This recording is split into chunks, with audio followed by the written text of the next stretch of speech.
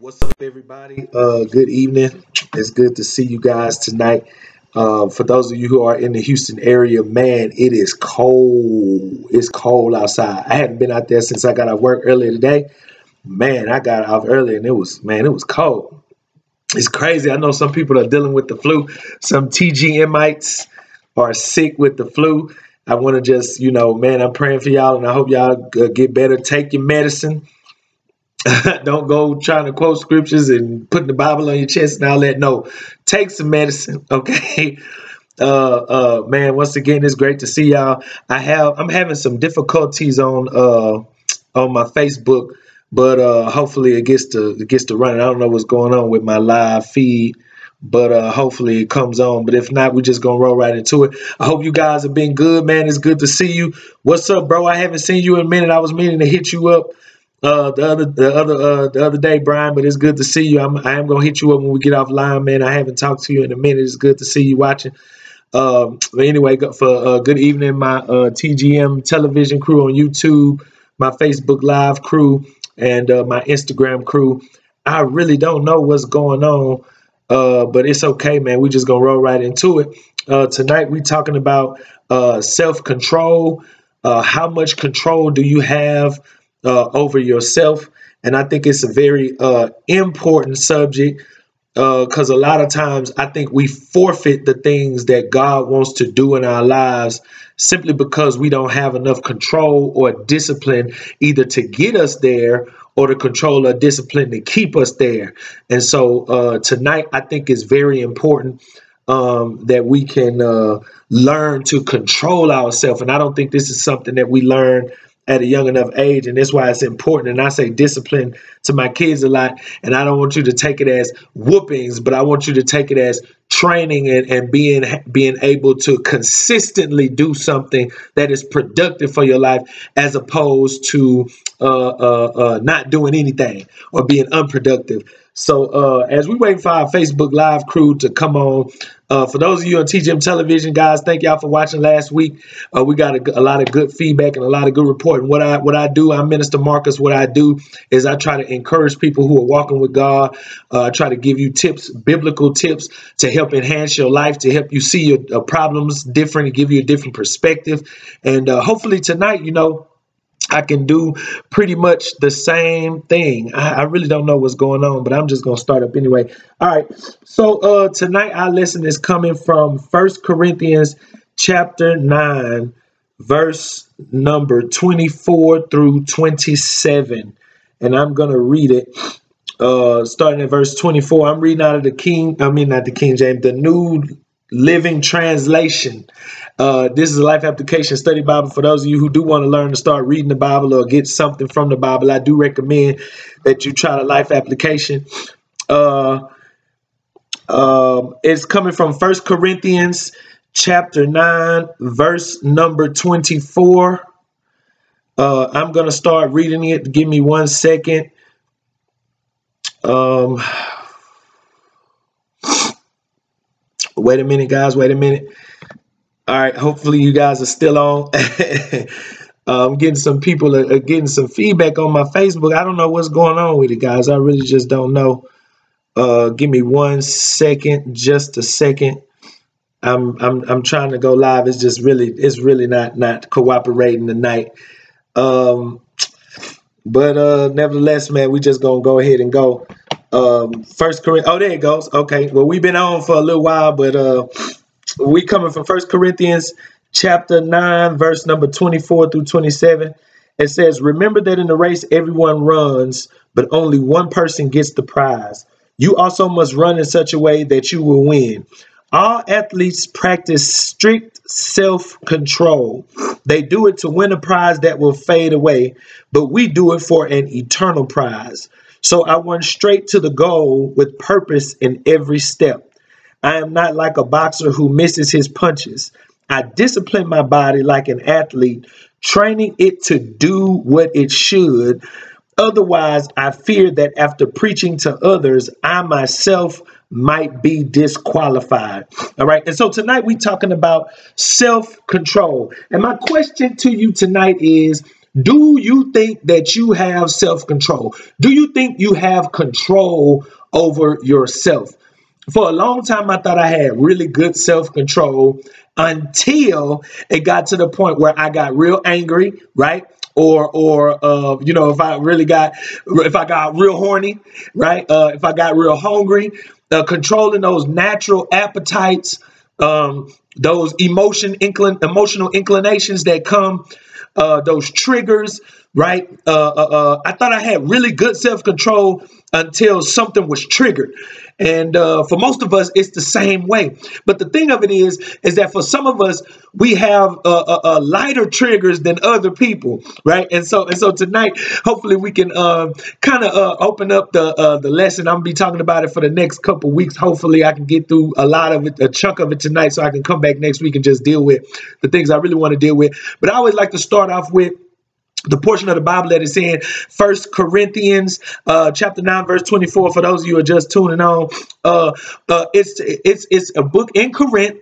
The uh, church that he started on his second missionary journey, what Paul did is he would he would travel around the world, um, and the, he started up churches. And so this church at Corinth, it was a, a strategic location because uh, think of it as an airport. Think of it as a an, as a place like an airport. You have people coming, you have people going. Some people were coming for business, some people were going for pleasure. Some people they were coming and going for a lot of different things, right? And so and so what Paul did is he he establishes a church because the advantage of having a church at a place like that is that the word, the gospel of Jesus Christ would be able to be spread to a lot of different locations from one location. So it was very advantageous for him to go and set up a church at Corinth. Strategically, it was advantageous. But the thing about the Corinth is that Corinth was known, right, for their promiscuity. And what that means is that the people, they worship the goddess Aphrodite.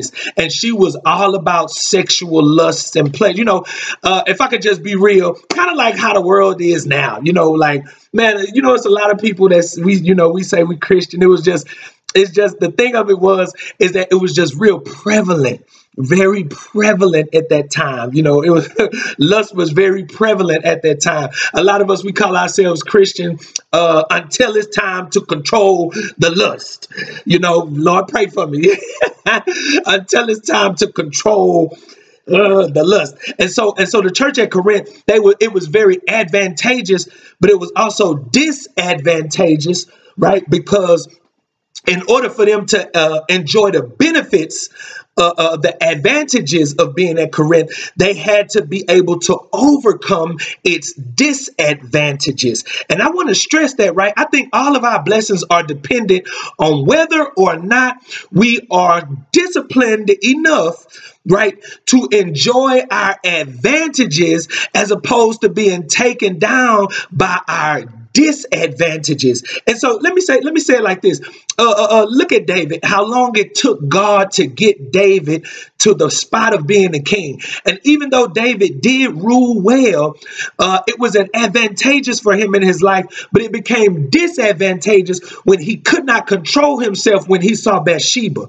And so my question is, can you stand to be blessed? I think sometimes God doesn't elevate us when we feel like we should be elevated because we lack the discipline necessary necessary to maintain. There was a portion, a period in my life, right, where I was really praying and I was asking, I was seeking God to increase my finances, right? I need more money. I need more money.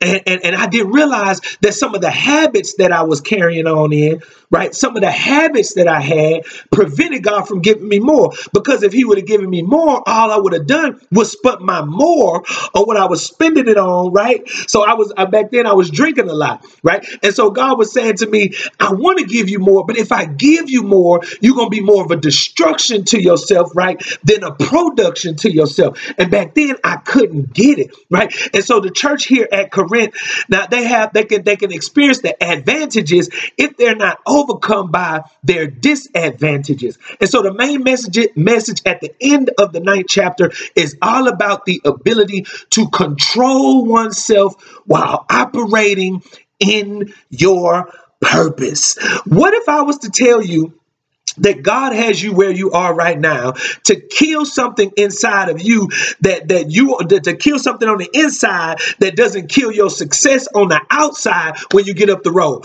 What if I told you right now that God was teaching you right to control yourself so that when you do get to where he wants to take you that you don't allow your flesh right to mess it up. And so the question tonight is do you have the ability to control yourself? Do you have the ability to control yourself? I believe that the problem with many Christians is our inability to control ourselves. Everybody filled with the Holy Ghost. Everybody spiritual. Everybody can speak in tongue until it's time to control your mouth, right? Until it's time to control your attitude. Until it's time. Look, even for us that uh, you know, I had a person come up to me and they told me, right, that that uh that that um certain sins were wrong. And so they were real big on the whole lust thing. And my, my response to them was, you know, God don't call us to judge, but at the same time, my brother, you're a little bit overweight. You know what I'm saying? And so being greedy or overeating is also a sin too. And that's what I'm saying. Everybody is saved. Everybody is spiritual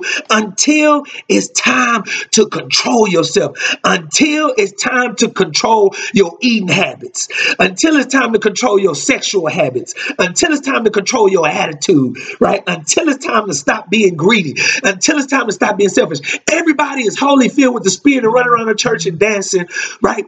But nobody is spiritual when it's time to control their flesh. And I want to stress on that tonight because a lot of times we put emphasis on what God would have us to do at church. The Holy Spirit came on me and I felt something that made me shout, right? But did the same Holy Spirit come on you while you was at home, right? And stop you from doing something. Come on, I want y'all to go with me tonight. And look, out your name, man. We're gonna talk about some difficult things tonight, but it's okay. It's okay. Okay.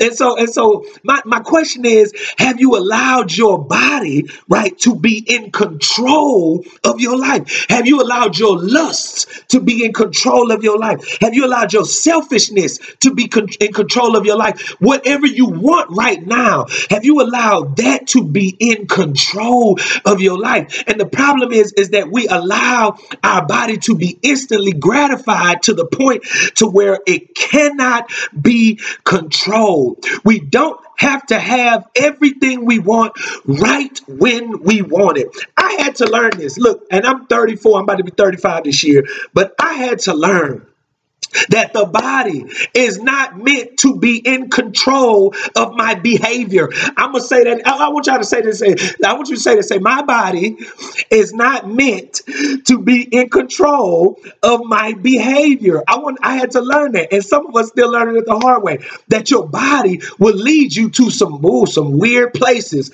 right? Your in, intentions may be good, but your emotions, right? Your come on. I want. I want. I want to talk to real people tonight. Your body is not meant to be in control of your behavior. And, and, I, and I want to tell somebody the reality is, is that no matter how much you know what, what is right to do, your body is always going to want to do the opposite Dang, no matter how much you want to be productive, your body will almost always want to do things that are opposite. I said that I was going to practice my bass every single day, right? But then when you get home from school or when you get home from work, your body just don't feel like, come on, if I could just talk to real people, right? Sometimes when you want to be productive, your body is the is working completely against what it is that you want to accomplish. Your body will want things, and not just that, but here's the thing your body will want things that are contrary to God, that are contrary to your forward progress, and that are contrary to your future happiness. And the thing is, and what I want to stress is if you want to be successful at accomplishing anything, you have to learn to control yourself. Come on, say this, say, I gotta control myself. The concept is called delayed gratification. Delayed gratification. That is a tough concept, especially when you're used to getting what you want when you want it, right? It's difficult to tell your body no. But I had to learn this. You know, I had to get in the gym last year and I'm still working it out. But at the end of the day, right, the only way that I could start losing my waist, losing my stomach, bringing my waistline in is that I had to learn you can't eat chocolate whenever you want chocolate. You can't eat cookies whenever you want to eat cookies. And I hope that's a word for somebody tonight. If you want to see yourself in the future being successful, you are going to have to control yourself in the present. I wish I could have told my 15 year old self, right, that if you want to be successful in the future, you have to control yourself now. For my young man, bro, that you watching on Instagram, I see you. Look, check it out. If you want to be successful in your 20s, you have to learn self control in your teenage years. Because if you don't, in your 20s, you will see the effects of the choices you made when you were a teenager. And I wish, I hope somebody can identify and testify along with me that the stuff I did when I was 15, I didn't see the real effects of that until I got in my 20s. The stuff that I was doing in my 20s, I didn't see the real effects of that until I got in my 30s. And then I had to learn in the latter part of my 20s that if I wanted my 30s to be different than my 20s, I was going to have to control myself, delay my gratification so I could see the things that I wanted to see, not in my present, right, but in my future. And sometimes we don't get the concept that that if, if I want to see future success, I have to win the present battles. And I want to stress that if you want to see future success, you have to win the present battles. And so the question becomes, is it possible to actually control your flesh? And I believe that it is. But the first step towards self-control is recognizing the actual enemy. You know, in our churches, we are taught that the devil is our enemy, right? The devil is our enemy. The white man is our enemy, right? Brothers, people who are standing up against you is our enemy. I learned this that the devil is not the biggest enemy that I have to fight. People on the outside are not the big, my boss is not the biggest enemy that I have. The white man, the white man, the black man, whoever, they are not the biggest enemy that I have to fight. The biggest obstacle to my forward progress is me. And if you look at yourself in the mirror, truth be told, there is nobody on the outside can hinder you like you. And I say it like this my biggest enemy is my inner me. It is not those people on the outside that is stopping me from doing the things that I want to do. It's the man I live with every day. It's the man that I see in the mirror every morning. It's the man that I clean off and I dress every day. It's him. And I had to learn this that the devil cannot entice you with something that you do not want. Most of the time, it's a temptation, not because the devil wants you to have it, but because you want it. and the truth is, the truth of the matter is, is that you can lock everybody on the outside. You can keep everybody out. You can stay in the house all day, and you will discover that you are your own worst enemy. And so, first, we have to realize and recognize that the biggest enemy is my inner me. The biggest issue is our own will and our own desires. It's not the devil that lures us into sin, it's our flesh. And here's how the devil works the devil works along with your flesh. He knows what you like, right? He knows what you want. And so then he only entices, he puts thoughts in your mind that's going to pull your flesh a certain way. And oftentimes it's not just the devil, but it's my flesh, it's me. And the, the thing is, is that we don't have the discipline or the self control to tell our flesh, no. Come on, say that. No. Can I have some cookies tonight? I want to go get me some chocolate. No. Can I eat some fried chicken? No. I cannot have the things that I want right now because they are detrimental to where I'm trying to go and what I'm trying to accomplish. No. Do I need to get more in, you know, do I need to get more into my work? Yes. But the thing is, right? The thing is, is that we don't know how to tell our flesh, no. no, you can't do that. No, you can't have that. Yes, you need to get up and go to the gym. No, you can't eat that. Yes, you need to eat better. Yes, you need to exercise. No, you can't sleep all day. No, you can't be lazy. You have to be productive. We don't have the discipline to tell our flesh No. We don't have the willpower to resist the urges. I want to tell you tonight it's difficult, but it's possible. Say that. It's difficult, but it's possible. It's simple, but it's not easy. it's simple, but it's not easy.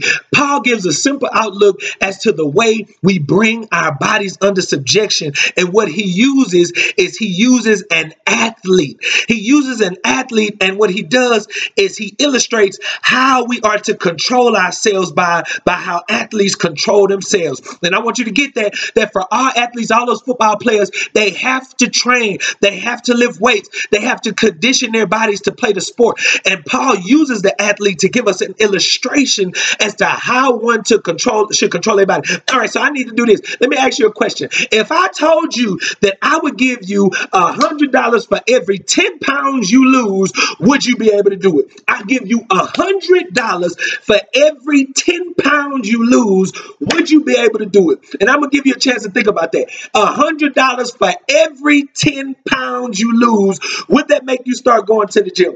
Would that make you get more disciplined and dedicated to your weight loss? Would that help you to be more? Come on, I'm asking you a question, right? If I told you I would give you a hundred dollars for every 10 pounds you lose, would you be able to do it? Then the next question, how would you be able to do it? How? You would discipline, you would train, you would whatever it is that you had to do to get down that 10 pounds. For every 10 pounds you lose, I'm gonna give you a hundred. You would, yeah, I know you would, because I would. But here's the thing: the thing is, what does those changes have to do with the Holy Spirit? I, will uh, wait. Don't worry. I'll wait. What do those changes? If I was to tell you, I give you a hundred dollars for every ten pounds you lose, you would do it, no questions asked, because you want the hundred, right? But the question is, what does those changes have to do with the Holy Spirit? And I want, I, I want to stress this, right? Because a lot of times, right, it's not the Holy Ghost that that can stop us or start us to doing anything. It's our own choices. We change or we make decisions based on our intensity for achieving certain goals. And I want you to get that. Look, she said, take that challenge. No, it's an example, right? Because you would make those changes to get that hundred dollars, right? But that has nothing to do with the Holy Ghost. That has nothing to do with spirit. That has everything to do with you making a choice and you deciding to do it because that is your primary goal or your primary focus. And I want to lay on your hearts tonight that the problem is is that living for God has not become a primary goal or focus in your life. A lot of times the things that we need to do, they are partially connected to the spirit, but they are not completely dependent on the spirit because I have the ability to change or transform the things that I need to change or transform outside of the work, come on, of the Holy Spirit. And the thing is, is that, that God's morals are not our morals. God's values are not our values. And the thing is, is that we don't, we don't, we don't take it seriously. We make satisfying ourselves in the moment the most important thing. And so tonight the question is, do you really have control over yourself? And if you go back, we we we discussed this. I try to hit on this at least once or twice a year because I want you to get this. When you start talking about purpose, when you start talking about reaching your goals and, and, and making your dreams come to pass, right? You will never get there if you don't understand self control. If you cannot discipline yourself to control yourself, you will never see the things that you want to do. In reality, right, in chasing how you feel and what you want, thank you, thank you, thank you very much, you end up getting nowhere and you end up going nowhere. I realized this that chasing around how I felt only led led me around the same mountain. I would go around and come right back to square one. Why am I going through the same things? Why am I seeing the same things, right? God bless my money. God bless my money. God bless my money. Come right back to being broke, paycheck to paycheck. God bless my life. God bless my life. God bless my life. Coming right back to the same problems, the same issues, the same challenges. And the thing is, is that I missed it right? That in the end, because I didn't have self control, my life ended up going nowhere. I was going in circles because I had no self control. And I hope you can get that tonight, right? That breaking the cycle begins. And look, I'm going to say it like this if you want to see something different, you have to do something different. And a lot of times we are where we are because of the habits that we continue the habits that we don't break, the things that we continue to indulge in. And I want to I want to ask you a question. How can God change something in your life if you keep doing the same things to bring your life to the same place? There is only so much that God can do when you don't do what you're supposed to do. And I want to stress that tonight because somebody's been praying for something, somebody's been asking God to do something for them in their life, and I believe that God can do it. But guess what? It starts with you. And so tonight, I hope, man, I hope I left something with you and I'm done. I don't know how much time I got left, but the question tonight is can you control yourself? If you cannot control yourself, I'm I, I, I, hate to tell you this, but the reality is is you are going to always see the same old things if you keep doing the same old things. And so tonight, break the cycle. The breaking the cycle starts with learning self control. So thank you guys for tuning in tonight. That wasn't real heavy or real deep, but I hope, I hope, I hope that answers some of your prayers tonight. You got to learn to control yourself. So with that, thank you guys once again for tuning in. Be on the lookout for the things that we post. We do quotes. The ministry does quotes. I myself do quotes on my page on YouTube. Uh, uh, uh, we do we push out videos on Instagram. We do quotes. We do uh, uh, uh inspirational devotionals. We do all kinds of things on Twitter. Go to our website. You'll be able to connect to all of that stuff. It's www.thegodmovement.com. That'll connect you to all the different platforms that, that we're on. You can see all the different things that our ministry is doing, all the things that we stand for, what we're about. So, man, I, I, I man, I ask you go check it out if you're interested.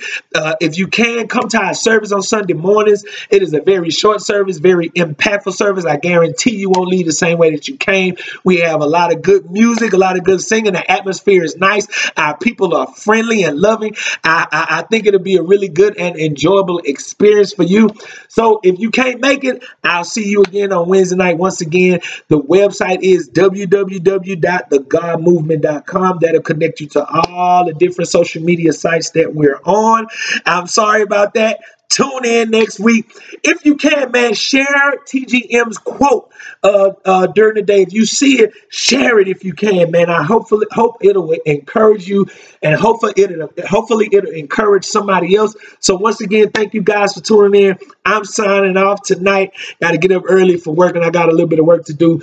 I'll see you guys tomorrow. I will be doing a morning motivation on our YouTube channel. So be be sure to be on the lookout for that. If you haven't subscribed, go subscribe to the YouTube channel. It's called TGM Television. All right. The Instagram is the underscore God movement. And of course, you already on Facebook. Of course, you guys are already seeing us who are all on those platforms. So thank you once again. And you guys be blessed. Y'all have a good evening. Control yourself. Control yourself. Good night.